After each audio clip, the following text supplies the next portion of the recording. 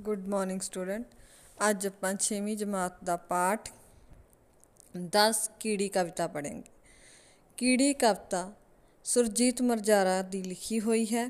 ਇਸ ਦੇ ਵਿੱਚ ਕਵੀ ਨੇ ਦੱਸਿਆ ਹੈ ਕਿ ਇੱਕ ਛੋਟੀ ਜਿਹੀ ਕੀੜੀ ਹੈ, ਪਰ ਉਹ ਕੰਮ ਬੜੇ ਕਰਦੀ ਹੈ, ਆਪਣੇ ਕੰਮ ਵਿੱਚ ਮਸਤ ਰਹਿੰਦੀ ਹੈ ਬੇਲੀ ਉਸ ਨੂੰ ਬੈਠਣਾ ਨਹੀਂ ਚਾਹੀਦਾ। ਇਸ ਲਈ ਸਾਨੂੰ ਵੀ ਸਾਰਿਆਂ ਨੂੰ ਇਸ ਤੋਂ ਇਹ ਸਿੱਖਿਆ ਮਿਲਦੀ ਹੈ ਕਿ ਸਾਨੂੰ ਕੀੜੀ ਦੇ ਵਾਂਗ ਆਪਣੀ ਧੁਨ ਦੇ ਪੱਕੇ ਹੋਣਾ ਚਾਹੀਦਾ ਹੈ ਤੇ ਕੰਮਕਾਰ ਵਿੱਚ ਲੱਗੇ ਰਹਿਣਾ ਚਾਹੀਦਾ ਹੈ। ਆਓ ਹੁਣ ਇਸ ਦਾ ਆਪਾਂ ਇਸ ਨੂੰ ਪੜ੍ਹੀਏ ਤੇ ਇਸ ਦੇ ਸਰਲ ਅਰਥ ਕਰੀਏ।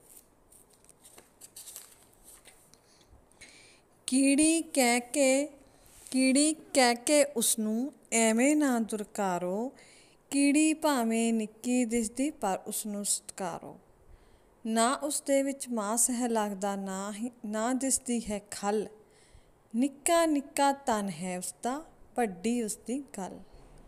ਨਾ ਕੁਝ ਸਾਨੂੰ ਬੋਲ ਸੁਣਾਵੇ, ਨਾ ਕੋਈ ਭਰੇ ਹੁੰਗਾਰਾ, ਪਰ ਉਸਦੇ ਨੇ ਕੰਮ ਅਜਿਹੇ ਧਿਆਨ ਜੋ ਖਿੱਚਣ ਸਾਰਾ। ਔਖੇ ਸ਼ਬਦਾਂ ਦੇ ਅਰਥ। ਦੁਰਕਾਰੋ, ਨਫ਼ਰਤ ਨਾ ਕਰੋ। ਸਤਕਾਰੋ, ਸਤਕਾਰ ਕਰਨਾ। ਖਲ, ਮਾਸ, ਤਨ, ਸਰੀਰ, ਹੁੰਗਾਰਾ, ਗੱਲ ਦਾ ਜਵਾਬ ਦੇ ਵਿੱਚ ਹੂੰ, ਹਾਂ ਕਰਨਾ। ਕੀੜੀ ਕੀੜੀ ਕਹਿ ਕੇ ਉਸ ਨੂੰ ਐਵੇਂ ਨਾ ਦੁਰਕਾਰੋ, ਕੀੜੀ ਭਾਵੇਂ ਨਿੱਕੀ ਦਿਸਦੀ ਪਰ ਉਸ ਨੂੰ ਸਤਕਾਰੋ। ਕਵੀ ਇਸ ਦੇ ਵਿੱਚ ਕਹਿੰਦਾ ਹੈ ਕਿ ਕੀੜੀ ਨੂੰ ਕੀੜੀ ਕੀੜੀ ਕਹਿ ਕੇ ਛੋਟੀ ਜਹੀ ਤੁੱਛ ਜਹੀ ਚੀਜ਼ ਸਮਝ ਕੇ ਐਵੇਂ ਦੁਰਕਾਰੋ ਨਾ। ਕੀੜੀ ਭਾਵੇਂ ਨਿੱਕੀ ਦਿਸਦੀ ਪਰ ਉਸ ਨੂੰ ਸਤਕਾਰੋ। ਕਹਿੰਦੇ, ਭਾਵੇਂ ਇਹ ਦਿਖਣ ਦੇ ਵਿੱਚ ਨਿੱਕੀ ਹੈ, ਪਰ ਇਸ ਦਾ ਸਤਕਾਰ ਕਰੋ। ਨਾ ਉਸ ਦੇ ਵਿੱਚ ਮਾਸ ਹੈ ਲੱਗਦਾ, ਨਾ ਦਿਸਦੀ ਹੈ ਖਲ। ਨਿੱਕਾ ਨਿੱਕਾ ਤਨ ਹੈ ਉਸ ਦਾ ਵੱਡੀ ਉਸ ਦੀ ਗੱਲ।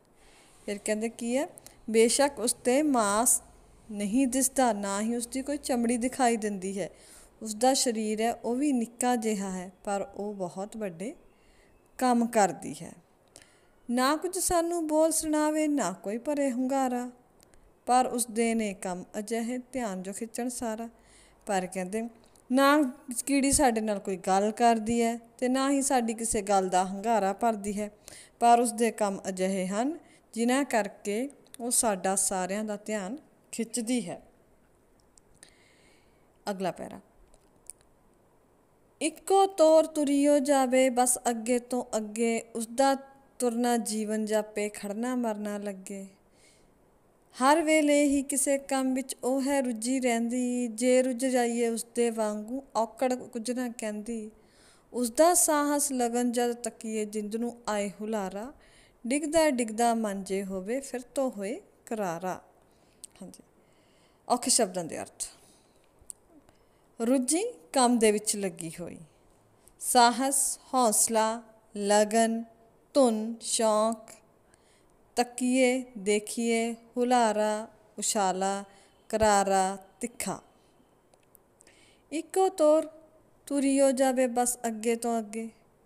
ਉਸਦਾ ਤੁਰਨਾ ਜੀਵਨ ਜਾਪੇ ਖੜਨਾ ਮਰਨਾ ਲੱਗੇ। ਇਸ ਦੇ ਵਿੱਚ ਕਵੀ ਕੀ ਕਹਿੰਦਾ ਹੈ ਕਿ ਕੀੜੀ ਬੇਸ਼ੱਕ ਬਹੁਤ ਨਿੱਕੀ ਹੈ, ਦੇਖਣ ਨੂੰ ਬੜੀ ਛੋਟੀ ਜਿਹੀ ਲੱਗਦੀ ਹੈ, ਪਰ ਉਹ ਇੱਕੋ ਤੌਰ ਅੱਗੇ ਹੀ ਅੱਗੇ ਤੁਰਦੀ ਜਾਂਦੀ ਹੈ। ਜਾਪਦਾ ਹੈ ਤੁਰਨ ਨੂੰ, ਉਹ ਜੀਵਨ ਸਮਝਦੀ ਹੈ ਤੇ ਰੁਕਣ ਨੂੰ ਮੌਤ ਸਮਝਦੀ ਹੈ। ਹਰ ਵੇਲੇ ਹੀ ਕਿਸੇ ਕੰਮ ਵਿੱਚ ਉਹ ਹੈ ਰੁੱਝੀ ਰਹਿੰਦੀ, ਜੇ ਰੁੱਝ ਜਾਈਏ ਉਸ ਦੇ ਵਾਂਗੂ ਔਕੜ ਕੁਝ ਨਾ ਕਹਿੰਦੇ। ਫਿਰ ਕੀ ਕਹਿੰਦੇ ਆ? ਕਿ ਉਹ ਹਰ ਸਮੇਂ ਕਿਸੇ ਨਾ ਕੰਮ, ਕਿਸੇ ਨਾ ਕਿਸੇ ਕੰਮ ਵਿੱਚ ਰੁੱਝੀ ਰਹਿੰਦੀ ਆਪਾਂ ਦੇਖਦੇ ਨਾ ਕੀੜੀਆਂ ਲਗਾਤਾਰ ਚੱਲਦੀਆਂ ਰਹਿੰਦੀਆਂ ਨੇ। ਕਦੇ ਦੇਖਿਆ ਨੇ ਵੀ ਖੜੀਆਂ ਹੋਣਗੀਆਂ ਪਰ ਚੱਲੀ ਜਾਂਦੀਆਂ ਨੇ ਸਾਰਾ ਦਿਨ ਇਸ ਤਰ੍ਹਾਂ। ਜੇਕਰ ਰੁੱਝਾਈਏ ਉਸ ਦੇ ਵਾਂਗੂ ਔਕੜ ਕੁਝ ਨਾ ਕਹਿੰਦੀ, ਫਿਰ ਜੇਕਰ ਅਸੀਂ ਵੀ ਉਹਦੇ ਵਾਂਗ ਕੰਮ ਦੇ ਵਿੱਚ ਰੁੱਝ ਜਾਈਏ ਤਾਂ ਸਾਡੇ ਅੱਗੇ ਵੀ ਕੋਈ ਔਕੜ ਨਹੀਂ ਰਹਿੰਦੀ, ਸਾਡੇ ਅੱਗੇ ਵੀ ਕੋਈ ਮੁਸੀਬਤ ਨਹੀਂ ਰਹਿੰਦੀ। ਉਸ ਦਾ ਸਾਹਸ ਲਗਨ ਜਦ ਤੱਕੀਏ, ਜਿੰਦ ਨੂੰ ਆਏ ਹੁਲਾਰਾ, ਡਿੱਗਦਾ ਡਿੱਗਦਾ ਮਨ ਜੇ ਹੋਵੇ, ਫਿਰ ਤੋਂ ਹੋਏ ਕਰਾਰਾ। ਫਿਰ ਕੀ ਕਹਿੰਦੇ ਆ? ਜਦੋਂ ਅਸੀਂ ਉਸ ਦੀ ਹਿੰਮਤ ਤੇ ਲਗਨ ਨੂੰ ਦੇਖਦੇ ਹਾਂ ਤਾਂ ਸਾਰੇ ਸਰੀਰ ਵਿੱਚ ਇੱਕ ਹੁਲਾਰਾ ਜਿਹਾ ਆਉਂਦਾ ਹੈ ਤੇ ਸਾਡਾ ਡਿੱਗਦਾ ਡਿੱਗਦਾ ਮਨ ਇੱਕਦਮ ਮੁੜ ਕਾਇਮ ਹੋ ਜਾਂਦਾ ਹੈ। ਅਸੀਂ ਦੇਖਦੇ ਹਾਂ ਕਿ ਕੀੜੀ ਸਾਰਾ ਦਿਨ ਲੱਗੀ ਰਹਿੰਦੀ ਆ ਉਸ ਨੂੰ ਦੇਖ ਕੇ ਸਾਡੇ ਵਿੱਚ ਵੀ ਹੌਸਲਾ ਆ ਜਾਂਦਾ ਹੈ। ਉਸ ਦੀ ਲੋੜ ਜਦੋਂ ਮੈਂ ਤੱਕੀ ਥੋੜੀ ਥੋੜੀ ਜਾਪੇ, ਬੰਦਿਆਂ ਵਾਂਗ ਨਾ ਧਰਤੀ ਨੂੰ ਉਹ ਗਿੱਠਾਂ ਦੇ ਵਿੱਚ ਨਾਪੇ। ਇੱਕ ਇੱਕ ਕਰਕੇ ਦਲ ਬਣ ਜਾਂਦਾ, ਦਲ ਬਣ ਜਾਂਦਾ ਭਾਰਾ, ਆਪਸ ਵਿੱਚ ਹੀ ਇੱਕ ਦੂਜੇ ਦਾ ਬਣਦੀਆਂ ਹਨ ਸਹਾਰਾ। ਜਦ ਕੁਝ ਖਾਵਣ, ਜੋ ਕੁਝ ਖਾਵਣ ਰਲ ਮਿਲ ਕੇ ਹੀ ਖਾਵਣ।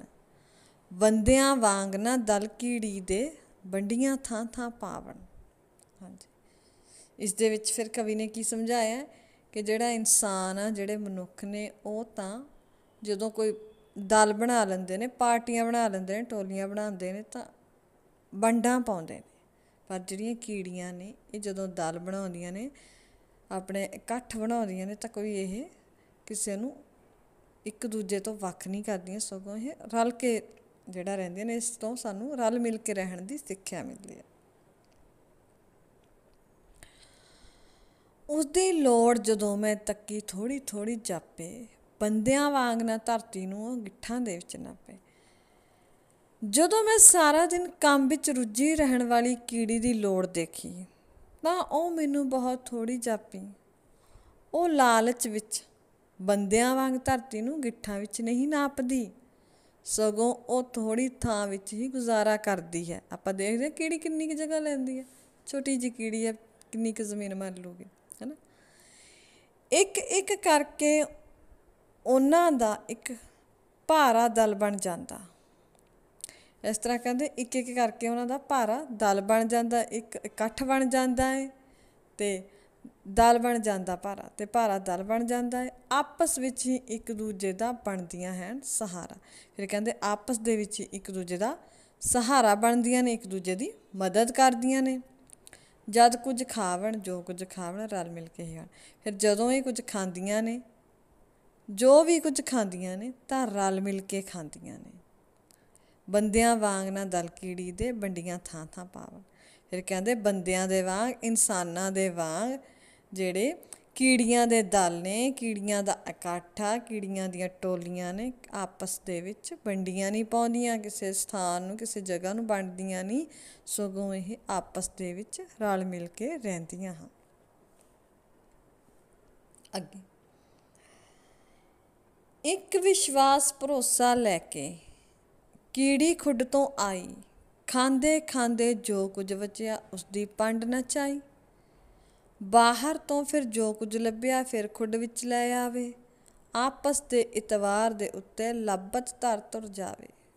ਕਦੇ ਕਦਾਈ ਆਉਂਦੇ ਜਾਂਦੇ ਮੁਖ ਨਾਲ ਮੁਖ ਛਹਾਵਣ ਇਉਂ ਲੱਗਦਾ ਜਿਉਂ ਇੱਕ ਦੂਜੇ ਨੂੰ ਗੱਲ ਕੋਈ ਪੁਚਾਵਣ। ਔਖ ਸ਼ਬਦਾਂ ਦੇ ਅਰਥ। ਚਾਈ ਚੁੱਕੀ। ਇਤਵਾਰ, ਯਕੀਨ, ਲੱਭਤ, ਲੱਭੀ ਚੀਜ਼, ਧਰ ਰੱਖ ਕੇ। ਇੱਕ ਵਿਸ਼ਵਾਸ, ਭਰੋਸਾ ਲੈ ਕੇ ਕੀੜੀ ਖੁੱਡ ਤੋਂ ਆਈ। ਫਿਰ ਕਹਿੰਦੇ, ਕੀ ਹੈ? ਇੱਕ ਕੀੜੀ ਆਪਣੀ ਖੁੱਡ ਤੋਂ ਵਿਸ਼ਵਾਸ ਤੇ ਭਰੋਸਾ ਲੈ ਕੇ ਬਾਹਰ ਆਉਂਦੀ ਹੈ। ਖਾਂਦੇ ਖਾਂਦੇ ਜੋ ਕੁਝ ਬਚਿਆ ਉਸ ਦੀ ਪੰਡ ਨਾ ਚਾਹੀ। ਉੱਥੇ ਖਾਂਦਿਆਂ ਖਾਂਦਿਆਂ ਜੋ ਕੁਝ ਬਚ ਜਾਂਦਾ ਹੈ, ਉਹ ਉਸ ਦੀ ਪੰਡ ਚੁੱਕ ਕੇ ਨਾਲ ਨਹੀਂ ਲਿਆਉਂਦੀ। ਸਗੋਂ ਬਾਹਰ ਤੋਂ ਫਿਰ ਜੋ ਲੱਭਿਆ, ਫਿਰ ਖੁੱਡ ਵਿੱਚ ਲੈ ਆਵੇ। ਸਗੋਂ ਜੋ ਕੁਝ ਉਸ ਨੂੰ ਬਾਹਰੋਂ ਲੱਭਦਾ ਹੈ ਉਸ ਨੂੰ ਚੱਕ ਕੇ ਖੁੱਡ ਵਿੱਚ ਲੈ ਆਉਂਦੀ ਹੈ। ਆਪਸ ਦੇ ਇਤਵਾਰ ਦੇ ਉੱਤੇ ਲੱਭਤ ਤੁਰ, ਧਰ ਤੁਰ ਜਾਵੇ। ਫਿਰ ਕਹਿੰਦੇ, ਉਹ ਇੱਕ ਦੂਜੀ ਦੇ ਯਕੀਨ ਉੱਤੇ ਆਪਣੀ ਲੱਭਤ ਨੂੰ ਛੱਡ ਕੇ ਤੁਰ ਜਾਂਦੀਆਂ ਨੇ। ਮਤਲਬ ਜੋ ਉਹਨਾਂ ਨੂੰ ਚੀਜ਼ ਲੱਭਦੀ ਹੈ, ਉਹ ਇੱਕ ਦੂਜੇ ਦੇ ਵਿਸ਼ਵਾਸ ਤੇ ਛੱਡ ਕੇ ਤੁਰ ਜਾਂਦੀਆਂ ਨੇ। ਕਦੇ ਕਦਾਈ ਆਉਂਦੇ ਜਾਂਦੇ ਮੁਖ ਨਾਲ ਮੁਖ ਸ਼ਹਾਵਣ ਤੇ ਫਿਰ ਕਦੇ ਕਦੇ ਆਉਂਦੀਆਂ ਜਾਂਦੀਆਂ ਇੱਕ ਦੂਜੀ ਦੇ ਨਾਲ ਮੂੰਹ ਨਾਲ ਮੂੰਹ ਲਾਉਂਦੀਆਂ ਨੇ। ਆਪਾਂ ਦੇਖਦੇ ਆ ਨਾ ਜਦੋਂ ਲਾਈਨ ਬਣਾ ਕੇ ਇਹ ਜਾ ਰਹੀਆਂ ਹੁੰਦੀਆਂ ਨੇ ਤਾਂ ਮਿਲ ਇੱਕ ਦੂਜੀ ਦੇ ਨਾਲ ਪਤਾ ਨਹੀਂ ਕੀ ਖਹਿ ਕੇ ਜੇ ਲੰਘਦੀਆਂ ਨੇ। ਇਉਂ ਲੱਗਦਾ ਜੋ ਇੱਕ ਦੂਜੇ ਨੂੰ ਗੱਲ ਕੋਈ ਪਹੁੰਚਾਉਣ। ਕਹਿੰਦੇ ਇਸ ਤਰ੍ਹਾਂ ਲੱਗਦਾ ਜਦੋਂ ਇਹ ਮੂੰਹ ਨਾਲ ਮੂੰਹ ਲਾਉਂਦੀਆਂ ਨੇ ਤਾਂ ਇਦਾਂ ਲੱਗਦਾ ਜਿਵੇਂ ਇੱਕ ਦੂਜੀ ਨੂੰ ਆਪਣੀ ਕੋਈ ਗੱਲ ਦੱਸ ਰਹੀਆਂ ਹੋਣ। ਜਿਵੇਂ ਕੋਈ ਸੁਨੇਹਾ ਦੇ ਰਹੀਆਂ ਨੇ, ਠੀਕ ਹੈ? ਅੱਗੇ ਜਦ ਮਿੱਠੀਆਂ ਖੁਸ਼ਬੂਆਂ ਭਰੀਆਂ ਸ਼ਹਿ ਕਿਧਰੇ ਮਹਿਕਣ, ਕੀੜੀਆਂ ਉੱਥੇ ਸੰਗ ਸਹੇਲੀਆਂ ਕਲੀਆਂ ਵਾਂਗੂ ਟਹਿਕਣ। ਏਡਾ ਪਿਆਰ ਨਾ ਦਿਸਿਆ ਕਿਧਰੇ ਮਹਿਕਾਂ ਦੂਰ ਖਲੇਰੇ। ਦੇਸ ਪਿਆਰ ਦਾ ਕਿਹਾ ਅਜੂਬਾ ਬੰਡੇ ਖੁਸ਼ੀ ਚ ਫੇਰੇ। ਆਓ ਰਲ ਕੇ ਕੀੜੀਆਂ ਵਾਂਗੂ ਰੁੱਝੀਏ ਪਿਆਰ ਵੰਡਾਈਏ। ਸਿਦਕ ਲਗਨ ਸੰਗ ਮਿਹਨਤ ਕਰੀਏ, ਜਗ ਸੁਰਜੀਤ ਬਣਾਈਏ। ਆਪਣੇ ਤਾਂ ਰਹਿ ਔਖੇ ਸ਼ਬਦਾਂ ਦੇ ਅਰਥ। ਸ਼ੈ ਚੀਜ਼ਾਂ। ਸੰਗ ਸਾਥੀ ਅਜੂਬਾ ਹੈਰਾਨ ਕਰਨ ਵਾਲੀ ਚੀਜ਼, ਸੁਰਜੀਤ ਜਿੰਦਾ ਨਰੋਆ। ਜਦ ਮਿੱਠੀਆਂ ਖੁਸ਼ਬੂਆਂ ਭਰੀਆਂ ਛਾਇਆਂ ਕਿਧਰੇ ਮਹਿਕਣ, ਕੀੜੀਆਂ ਉੱਥੇ ਸੰਗ ਸਹੇਲੀਆਂ, ਕਲੀਆਂ ਵਾਂਗੂ ਟਹਿਕਣ। ਫਿਰ ਕਹਿੰਦੇ, ਜਿ- ਜਦੋਂ ਕਿਤੇ ਮਿੱਠੀਆਂ ਖੁਸ਼ਬੂਆਂ ਭਰੀਆਂ ਚੀਜ਼ਾਂ ਦੀ ਕਿਧਰੋਂ ਵੀ ਕੋਈ ਮਹਿਕ ਆਉਂਦੀ ਆ, ਖੁਸ਼ਬੂ ਆਉਂਦੀ ਹੈ ਤਾਂ ਕੀੜੀਆਂ ਉੱਥੇ ਸਹੇਲੀਆਂ ਵਾਂਗੂ ਪਹੁੰਚ ਜਾਂਦੀਆਂ ਹਨ ਤੇ ਕਲੀਆਂ ਵਾਂਗੂ ਟਹਿਕਣ ਲੱਗ ਪੈਂਦੀਆਂ ਨੇ। ਏਡਾ ਪਿਆਰ ਨਾ ਦਿਸਿਆ ਕਿਧਰੇ ਮਹਿਕਾਂ ਦੂਰ ਖਲੇਰੇ। ਦੇਸ ਪਿਆਰ ਦਾ ਕਿਹਾ ਅਜੂਬਾ ਬੰਡੇ ਖੁਸ਼ੀ ਚੁਫੇਰੇ ਫਿਰ। ਕਵੀ ਕਹਿੰਦਾ ਹੈ ਕਿ ਇੰਨਾ ਜਿੰਨਾ ਪਿਆਰ ਕਿਧਰੇ ਨਹੀਂ ਦਿਸਦਾ, ਕਿਤੇ ਵੀ ਦਿਖਾਈ ਨਹੀਂ ਦਿੰਦਾ। ਇਹਨਾਂ ਦਾ ਪਿਆਰ ਦੂਰ ਦੂਰ ਤੱਕ ਆਪਣੀਆਂ ਮਹਿਕਾਂ ਖੁਲਾਰਦਾ ਹੈ, ਖੁਸ਼ਬੂਆਂ ਖਿਲਾਰਦਾ ਹੈ। ਇਹਨਾਂ ਦਾ ਦੇਸ਼ ਪਿਆਰ ਇੱਕ ਅਦਭੁਤ ਅਜੂਬਾ ਹੈ, ਜੋ ਚੁਫੇਰੇ ਖੁਸ਼ੀਆਂ ਖਿਲਾਰਦਾ ਹੈ, ਜੋ ਚਾਰੇ ਪਾਸੇ ਖੁਸ਼ੀਆਂ ਖੇੜੇ ਵੰਡਦਾ ਹੈ। ਆਓ ਰਲ ਕੇ ਕੀੜੀ ਵਾਂਗੂ ਰੁੱਝੀਏ, ਪਿਆਰ ਵੰਡਾਈਏ। ਸਿਦਕ ਲਗਨ ਸੰਗ ਮਿਹਨਤ ਕਰੀਏ, ਜਗ ਸਰਜੀਤ ਬਣਾਈਏ। ਫਿਰ ਕਵੀ ਕਹਿੰਦਾ ਹੈ ਆਓ ਅਸੀਂ ਵੀ ਸਾਰੇ ਕੀੜੀ ਵਾਂਗ ਰਲ ਮਿਲ ਕੇ ਕੰਮ ਵਿੱਚ ਰੁੱਝ ਜਾਈਏ ਤੇ ਚਾਰੇ ਪਾਸੇ ਪਿਆਰ ਵੰਡੀਏ। ਆਓ ਇਸ ਵਾਂਗ ਹੀ ਅਸੀਂ ਸਿਦਕ ਤੇ ਲਗਨ ਨਾਲ ਮਿਹਨਤ ਕਰੀਏ ਤੇ ਦੁਨੀਆ ਨੂੰ ਨਰੋਆ ਬਣਾਈਏ।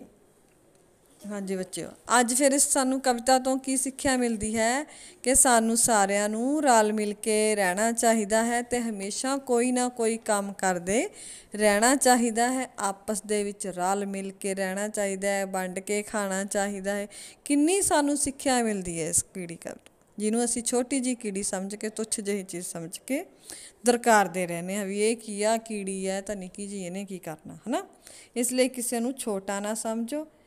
ਅੱਗੇ ਤੁਹਾਨੂੰ ਪੀਡੀਐਫ ਬਣਾ ਕੇ ਭੇਜ ਦਿੱਤਾ ਗਿਆ। ਥੈਂਕ ਯੂ ਧੰਨਵਾਦ।